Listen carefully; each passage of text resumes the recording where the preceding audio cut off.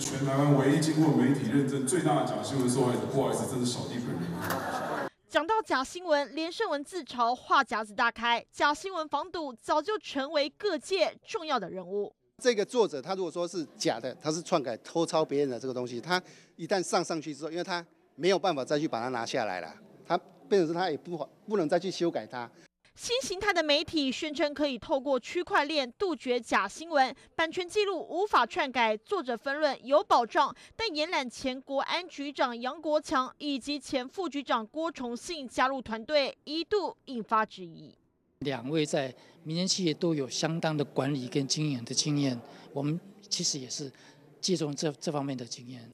强调没有党派和族群意识形态。不过，看看舞台上的贵宾，有国民党前副主席林峰正、立委曾明宗、企业大佬薛明志，还有国民党荣誉主席连战以及他的儿子连胜文，通通都出席，难免被问到帮忙协调候选的人选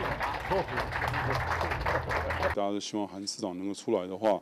那这个时候也许应该是要帮他广结善缘哦，帮他这个多交朋友，而不是帮他得罪人国民党二零二零宫廷斗争的戏码，随着立拱韩国瑜成为显学，如何协调早已宣布投入初选的两颗太阳？国民党这副牌还有的打。欢迎新闻廖文普、陈怡荣台北报道。